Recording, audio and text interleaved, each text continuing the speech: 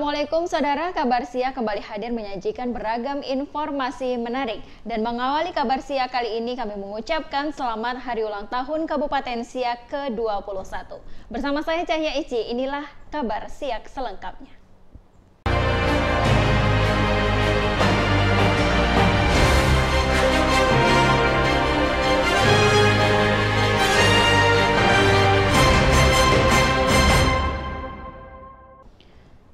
Saudara mengingat peringatan Hari Jadi Kabupaten Siak ke-21 tahun 2020 masih dalam masa pandemi COVID-19, sejumlah acara dilakukan secara sederhana.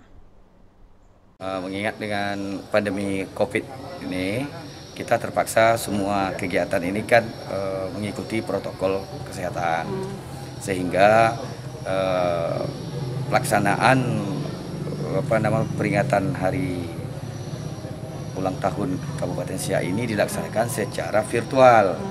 Artinya ada yang di DPRD, ada yang di Siak Live Room, dan ada yang di uh, ruang Serindit ya, uh, Gubernuran. Nah, ada Pak Gubernur di sana sama tokoh-tokoh masyarakat Riau di Pekanbaru. Terus DPRD di gedung DPRD dengan tokoh masyarakat Siak. Terus Pemda dan Prokopimda di Siak Live Room. Nah, nanti malam, malamnya itu Senin, Seninnya itu jadi ada santunan terhadap anak yatim dan uh, zikir bersama di rumah uh, kediaman PJS Bupati. Paginya kan itu kegiatannya sunat masal dan uh, donor darah. Berarti malamnya langsung Malamnya ya zikir. Ya meski dengan kondisi pandemi COVID-19 ya COVID-19 ini kita tetap uh, melaksanakan peringatan hari jadi Kabupaten Siak ke-21 ini uh, dengan uh, mempedomani ya uh, COVID ini, protokol COVID bukan berarti kita lupa dengan apa namanya jasa-jasa daripada pendiri kabupaten, orang-orang yang berjasa dari di Kabupaten Siak ini. Tapi bukan demikian. Kita tetap ingat, namun kita melaksanakannya sesuai dengan protokol kesehatan. Dalam rangka menyambut Hari Jadi Kabupaten Siak ke-21, pemerintah daerah Kabupaten Siak menggelar ziarah ketiga makam pahlawan, yakni makam Raja Kecik, makam Tengku Buang Asmara, dan makam Koto Tinggi. Saudara, dalam rangka memperingati Hari Jadi Kabupaten Siak yang ke-21 tahun 2020, pejabat sementara Bupati Siak Indra Agus Lukman dan juga Sekretaris Daerah Kabupaten Siak Arfan Usman, Asisten 3 Jamaludin dan juga Kepala OPD di lingkungan pemerintah daerah Kabupaten Siak melakukan kegiatan ziarah ke makam pahlawan Siak yang dimulai dengan menziarahi makam Raja Kecik di Buantan Besar, dilanjutkan dengan ke makam Tengku Buang Asmara di Mempura, serta kompleks makam Koto Tinggi di depan Istana Siak. Penjabat Bupati Siak Indra Agus Lukman mengatakan, serangkaian kegiatan ziarah makam ini tentunya bertujuan untuk mendoakan sekaligus mengenang dan menghargai jasa-jasa pahlawan yang telah berbuat banyak untuk bangsa dan negara. Kita biasanya kita makam apa ziarah makam dulu. Nah, kita terpaksa hari ini karena besok sudah masuk ke uh, ziarah masih ada besok pagi. Setelah satunya ke Sultan makam Sari Kasim 12 uh, eh, yang ke-12 nah baru kita lanjut dengan kita donor darah donor darah dengan kita kita masal kita masal baru kita paripurna. Setelah paripurna nanti diisi juga dengan kegiatan zikir secara virtual. Jadi kawan-kawan tolong bantu juga dari Siak TV biar kita tahu semua. Nah insya Allah setelah zikir secara virtual karena pembatasan covid sekarang baru kita nyantuni beberapa orang anak yatim yang inilah. Yang pasti kita jangan lupakan sejarah. Lupakan jasa jasa orang tua kita.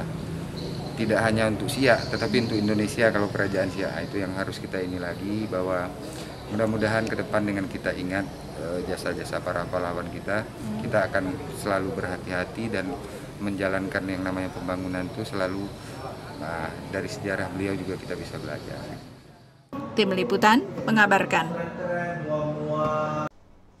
Saudara bertepatan pada 12 Oktober dalam rangkaian memperingati Hari Jadi Kabupaten Siak ke-21, kegiatan di hari istimewa ini diawali dengan menziarahi makam pahlawan nasional Sultan Syarif Kasim II di Kompleks Masjid Sabudin Siak bersama Forkompimda Siak. Bertempat di makam Sultan Syarif Kasim II, Komplek Masjid Sabudin Siak, PJS Bupati Siak Indra Agus Lukman beserta unsur Forkopimda, Sekda Siak, para asisten, staf ahli dan juga kepala OPD di lingkungan pemerintah daerah Kabupaten Siak melakukan ziarah dan doa bersama di makam pahlawan nasional asal Kabupaten Siak. Hal ini dalam rangka memperingati hari jadi Kabupaten Siak yang ke-21 tahun 2020.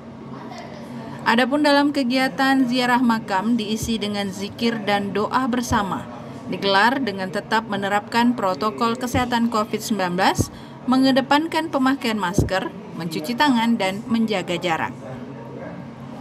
Usai menggelar zikir dan doa bersama di makam pahlawan Sultan Syarif Kasim II, kegiatan pun dilanjutkan dengan melihat langsung pelaksanaan bakti sosial sunatan massal dan donor darah bersama PMI Siak di Gedung Tengku Mahratu Siak. Tim Liputan mengabarkan. Pada rapat paripurna sempena hari jadi Kabupaten Siak ke-21 yang dipimpin langsung Ketua DPRD Kabupaten Siak Azmi dan beliau mengatakan bahwa perlu adanya terobosan-terobosan baru demi terwujudnya Kabupaten Siak yang lebih maju dan mandiri. Saudara, Rapat paripurna Dewan Perwakilan Rakyat Daerah Kabupaten Siak sempena hari jadi yang ke-21 Kabupaten Siak tahun 2020 dipimpin secara langsung oleh Ketua DPRD Haji Asmi, dihadiri anggota DPRD, PJS Bupati Siak, dan pejabat di lingkungan pemerintah daerah Kabupaten Siak, tokoh agama, tokoh masyarakat, ketua lembaga adat Melayu, perwakilan partai politik, serta tokoh pendiri Kabupaten Siak disaksikan melalui video conference di Balai Serindit Pekanbaru bersama Sekretaris Daerah Provinsi Riau. Peringatan hari jadi yang ke-21 Kabupaten Siak tahun ini, tamu undangan yang hadir dibatasi mengingat masih masa pandemi COVID-19. Apalagi angka pasien terkonfirmasi COVID-19 di Kabupaten Siak masih cukup tinggi. Dalam sambutannya, Ketua DPRD mengungkapkan bahwa sempena hari jadi yang ke-21 Kabupaten Siak tahun ini mengusung tema bersama tingkatkan kinerja menuju siak maju dan mandiri. Sesuai dengan tema tersebut, perlu adanya terobosan-terobosan baru, mengoptimalkan potensi yang ada demi terwujudnya Kabupaten Siak maju dan sejahtera. Selain itu, Ketua DPRD Kabupaten Siak mengucapkan terima kasih dan apresiasi kepada seluruh tokoh pendiri Kabupaten Siak dan tokoh pembangunan yang telah berjuang dari proses pembentukan Kabupaten Siak hingga saat ini. Reporter Maisaroh, kameramen Fahmi, tim liputan mengabarkan. Saudara mengisi rangkaian peringatan Hari Jadi Kabupaten Siak ke-21, pemerintah Kabupaten Siak menggelar kegiatan bakti sosial sunatan massal bagi anak kurang mampu serta kegiatan donor darah. Saudara, usai melakukan ziarah ke makam pahlawan Sultan Syarif Kasim II, PJS Bupati Siak bersama dengan rombongan meninjau pelaksanaan bakti sosial sunatan massal yang digelar di Gedung Tengku Mahratu Siak. Sunatan massal ini diwakili oleh 11 anak dari Kecamatan Siak dan Mempura, sementara untuk daerah lainnya digelar di kecamatan masing-masing. Jadi yang hari ini lanjutan dari yang kemarin, insya Allah kita juga rayakan dengan yang namanya sunat masal. Sunat masal itu nanti perwakilan yang sini mempura dengan ini, tapi ketika apa di puskesmas nanti kecamatan yang lain juga ikut. Bakti sosial dalam rangka Hari Jadi Kabupaten Siak ke-21 ini kemudian dilanjutkan dengan kegiatan donor darah bersama PMI Kabupaten Siak dilaksanakan di panggung Siak Bermadah. Ketua Palang Merah Indonesia Kabupaten Siak Dr. Fauzi Asni mengatakan, kegiatan donor darah sebagai salah satu upaya membantu PMI Kabupaten Siak dalam menyediakan stok darah Meskipun masa pandemi COVID-19 saat ini, namun kebutuhan akan stok darah harus tetap terpenuhi. Baik, Bismillahirrahmanirrahim. Assalamualaikum warahmatullahi wabarakatuh. Jadi informasi buat kita semua dalam rangka Milad ke-21 Kabupaten Siak, eh, PMI Kabupaten Siak eh, membuat rangkaian kegiatan acara untuk memeriahkan. Jadi rangkaian ini memang lebih sederhana pada tahun ini.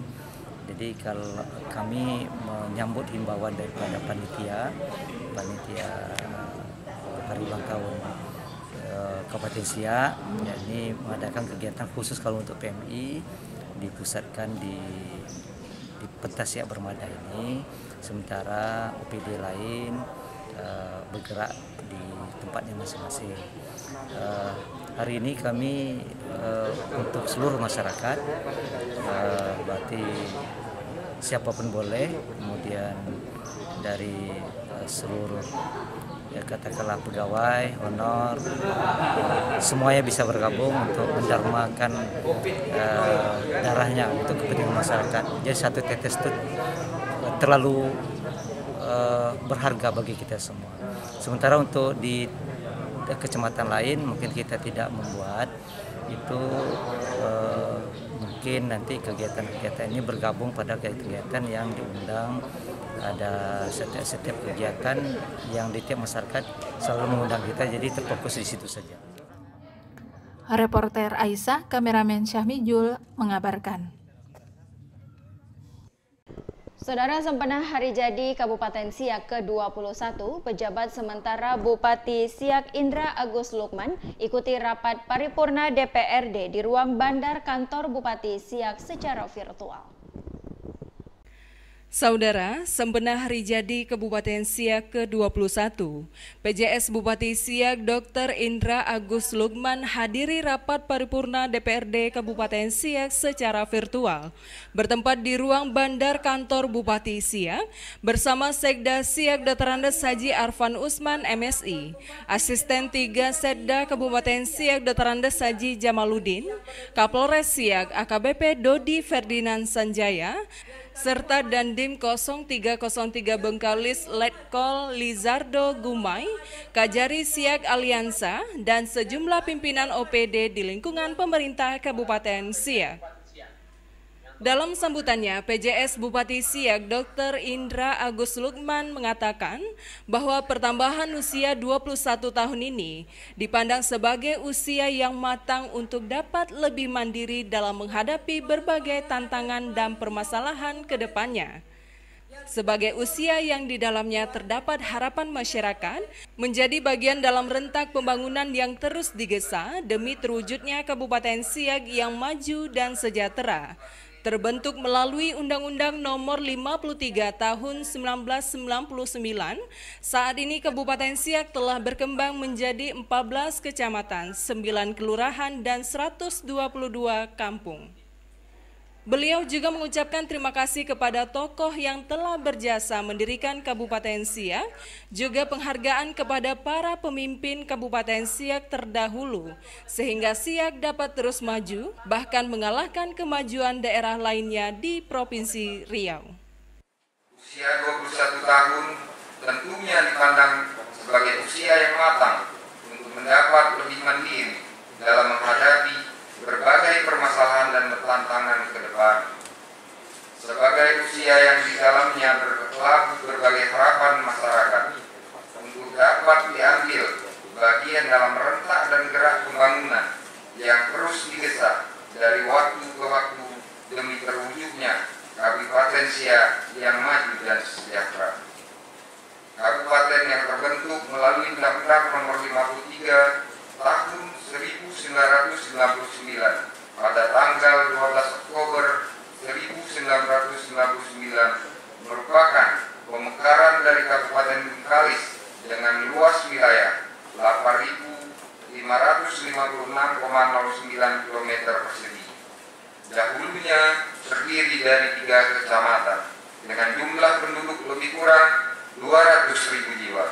Saat ini berkembang menjadi 14 kecamatan, 9 kelurahan, dan 122 kampung dengan jumlah penduduk yang pada semester tahun ini mencapai 400.332.584 jiwa.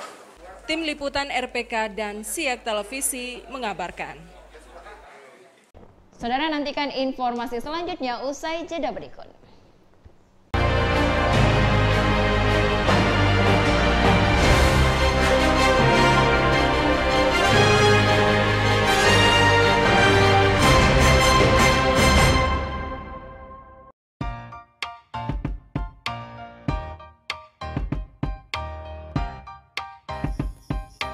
Perkenalkan, ini Damar.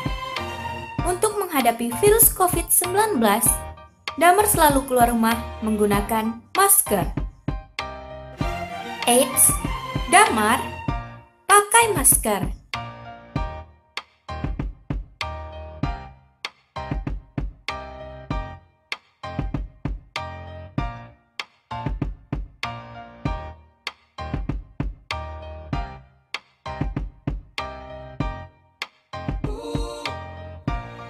Virus COVID-19 merupakan musuh bersama yang patut kita cegah.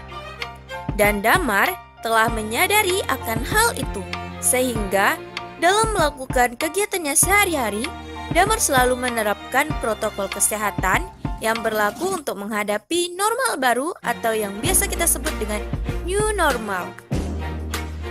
Selain menggunakan masker, Damar juga tidak lupa cuci tangan sebelum memasuki ruangan.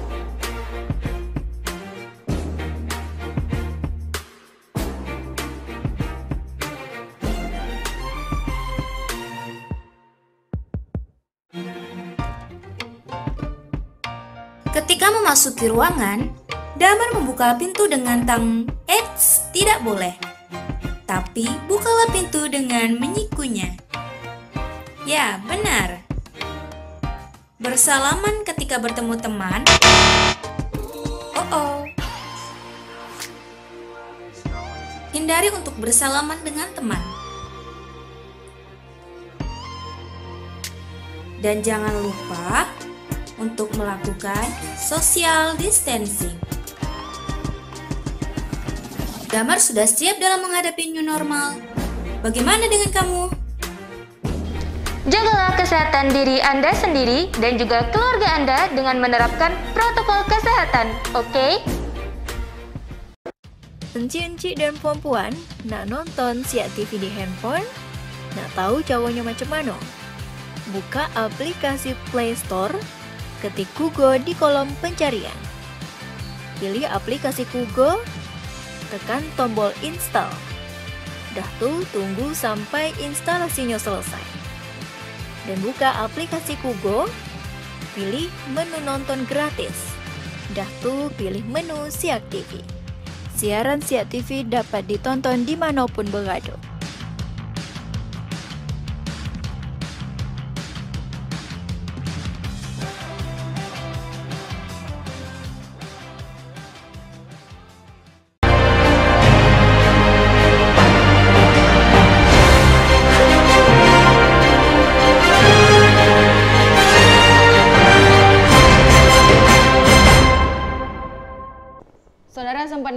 Sempena hari jadi Kabupaten Siak ke-21, penjabat sementara Bupati Siak serahkan secara simbolis piagam penghargaan Bupati Siak kepada OPD dan masyarakat berprestasi. Usai mengikuti rapat paripurna sempena hari jadi Kabupaten Siak ke-21, PJS Bupati Siak Indra Agus Lukman menyerahkan secara simbolis piagam penghargaan Bupati Siak Piagam penghargaan tersebut diberikan kepada Dinas PU, Tata Ruang, Perumahan Rakyat dan Kawasan Permukiman Kabupaten Siak, Dinas Pariwisata, Dinas Perdagangan dan Perindustrian, Dinas Pemberdayaan Masyarakat dan Kampung Kabupaten Siak untuk kategori Kelurahan Terbaik Lomba BBRG. Dinas Pertanian Kabupaten Siak untuk kategori penyuluh pertanian lapangan PNS dan non-PNS berprestasi. Kelompok Tani, Gapoktan, serta Balai Penyuluhan berprestasi. Selain itu, piagam penghargaan Bupati Siak juga diberikan kepada Kantor Kementerian Agama Provinsi Riau untuk KUA Kecamatan Kandis, kategori Kantor Urusan Agama Teladan dan Kepala Kantor Urusan Agama Berprestasi tingkat Provinsi Riau. Selanjutnya, Dinas Perpustakaan dan Arsip Kabupaten Siak kategori Lomba Perpustakaan Kampung, Lomba Bercerita, Lomba Pustaka Terbaik dan Lomba Perpustakaan Sekolah tingkat Provinsi Riau tahun 2020 serta Dinas Kesehatan Kabupaten Siak kategori Lomba Posyandu tingkat Kabupaten Siak tahun 2020. Tim Liputan RPK dan Siak Televisi mengabarkan. Usai rapat paripurna sempena hari jadi Kabupaten Siak ke-21, Ketua DPRD Kabupaten Siak melantik Persatuan Istri-Istri Wakil Rakyat atau Gatriwara. Diharapkan keberadaan Gatriwara dapat mensupport kinerja wakil rakyat. Pelantikan Gatriwara atau Istri-Istri Wakil Rakyat periode 2019-2024 oleh Ketua DPRD Kabupaten Siak Asmi berlangsung di Gedung Panglima Jimbam. Adapun Ketua Umum Gatriwara Kabupaten Siak adalah Endang Kurnita yang merupakan istri Ketua DPRD Kabupaten Siak.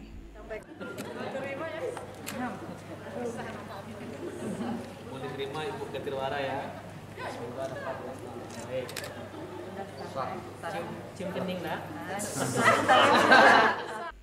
Gatriwara adalah wadah berhimpunnya istri-istri wakil rakyat Kabupaten Siak dalam rangka mendukung kegiatan suami yang bertugas sebagai anggota dewan. Menurut Ketua DPRD Kabupaten Siak bahwa anggota DPRD dalam menjalankan tugas perlu adanya dukungan dan motivasi dari istri-istrinya, sehingga perlu dibentuk organisasi Gatriwara. Adapun program kerja Gatriwara Kabupaten Siak saat ini masih bergerak di bidang sosial, serta memberikan dukungan kepada suami dalam menjalankan tugasnya sebagai wakil rakyat. Yang disampaikan tadi sama MC ya. Uh, ada di bidang sosial ekonomi. Uh, tetapi uh, yang lebih ke sosial kami seperti sama uh, misalnya seperti intern aja untuk saat ini ya. Uh, misalnya ada keluarga dari uh, bapak-bapaknya atau ibu-ibunya misalnya nah paling kalian cuma mengunjungi gitu. Nah, seperti itu aja. Kalau untuk keluar-keluar belum ada apalagi karena corona ini kan jadi belum ada kegiatan yang sifatnya keluar lah gitu. Ini masih yang bagian intern-intern aja kami laksanakan. Nah itu aja. Ya, untuk mendukung uh, daripada uh, kerja wakil rakyat itu seperti apa Pak dukungan uh, dari Katriwaran itu? Intinya kami mendukung bapak-bapaknya ya istilahnya. Mendukung ke menyokong, memberi motivasi mungkin uh, supaya kegiatan-kegiatan mereka bisa terlaksana dengan baik. Uh, kemudian intinya uh, di sini dalam menjalankan tugas mereka tentu uh, tidak semua bisa kami ikuti ya kan. Istilahnya dukungan moralnya aja, dukungan uh, nasihat apa segala macam paling itu aja. Ada dukungan istri yang lebih uh, kalau misalnya saya misalnya kan jarang juga ikut-ikut kalau apa misalnya kan paling cuma dukungan supaya uh, bisa bekerja dengan baik jaga kesehatan dan segala macam paling gitu. Diharapkan dengan adanya persatuan istri-istri wakil rakyat yang telah dilantik ini, para wakil rakyat lebih semangat dalam menjalankan tugas dan kewajibannya, sehingga permasalahan masyarakat dapat teratasi dengan cepat. Maisyaro Pahmi mengabarkan.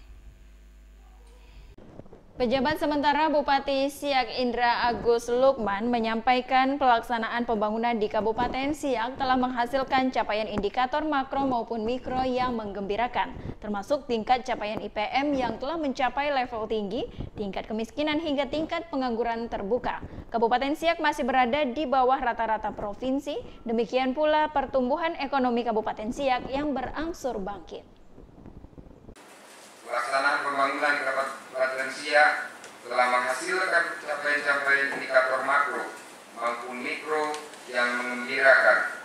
Capaian indeks pembangunan manusia atau IPM Kabupaten Siak tahun 2019 mencapai level tinggi menurut UNDP yaitu pada angka 74,04 meningkat 0,34 persen dari tahun 2018. Dengan mencapai level tinggi tersebut menunjukkan bahwa indikator pendidikan, kesehatan, dan daya beli masyarakat telah baik.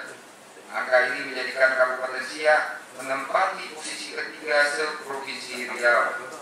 Untuk tingkat kemiskinan, meskipun kita dihadapi oleh persoalan perekonomian, tingkat kemiskinan Kabupaten Siak telah terjadi di bawah rata-rata tingkat kemiskinan Provinsi Riau, yaitu 5,03 persen pada tahun 2019 dibanding tahun 2018 sebesar 5,44 persen, masih di bawah angka kemiskinan Provinsi Riau sebesar 7,08 persen.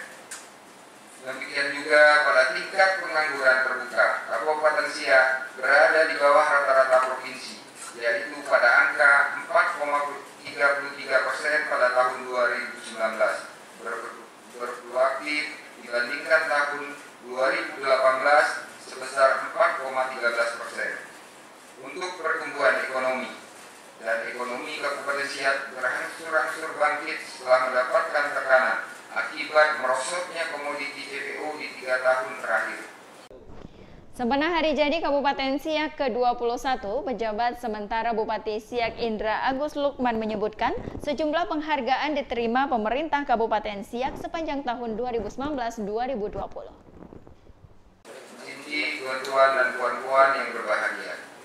Selain hal-hal yang disampaikan di atas, juga kami mengucapkan terima kasih dan penghargaan yang setinggi-tingginya kepada seluruh pimpinan OPD, perangkat daerah, staf, masyarakat Siak yang telah mengharumkan nama Kabupaten Siak dengan prestasi-prestasi yang telah mereka dapatkan. Selain itu, juga berbagi penghargaan yang diterima oleh pemerintah Kabupaten Siak pada tahun 2019-2020 di antaranya sebagai berikut.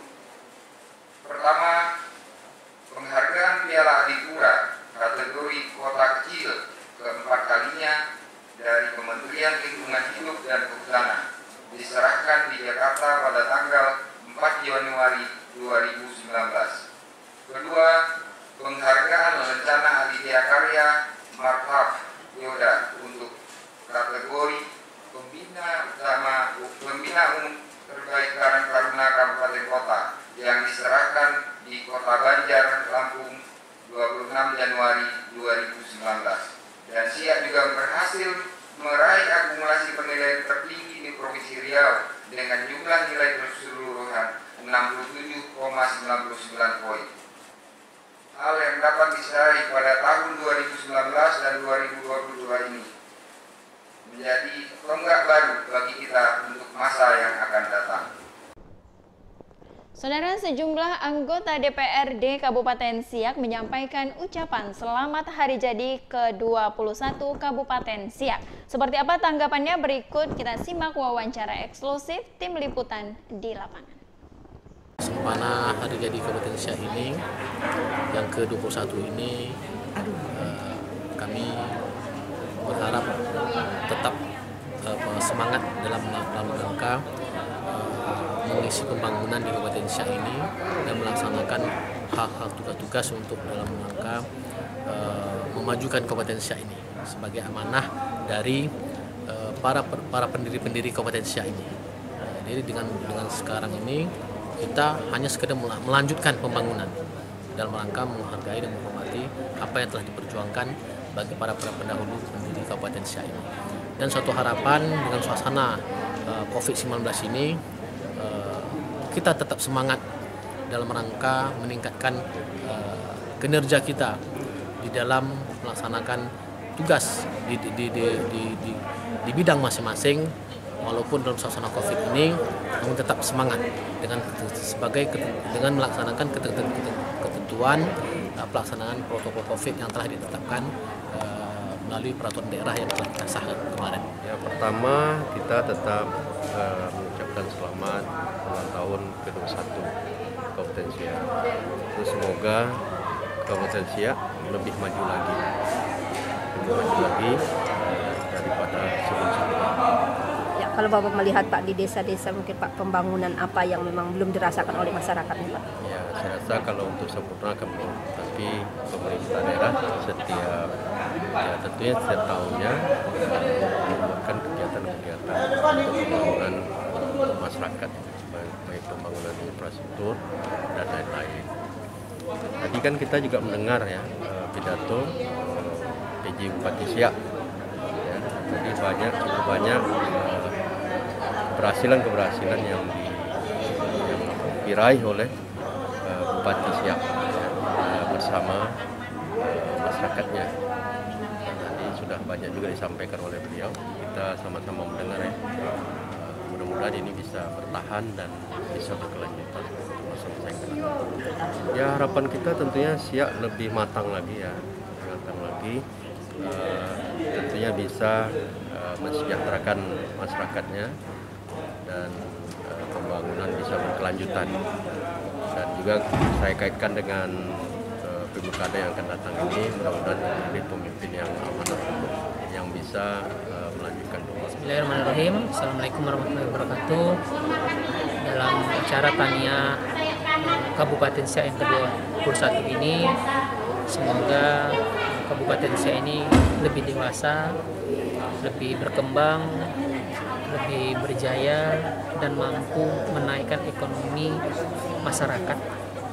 Dalam masa COVID-19 ini tentu kita diuji oleh uh, COVID ini kita berharap masyarakat Kabupaten Siak tetap semangat, tetap uh, memiliki uh, semangat untuk berdikari, semangat untuk berjuang, dan insya Allah COVID-19 ini dapat kita lalui bersama.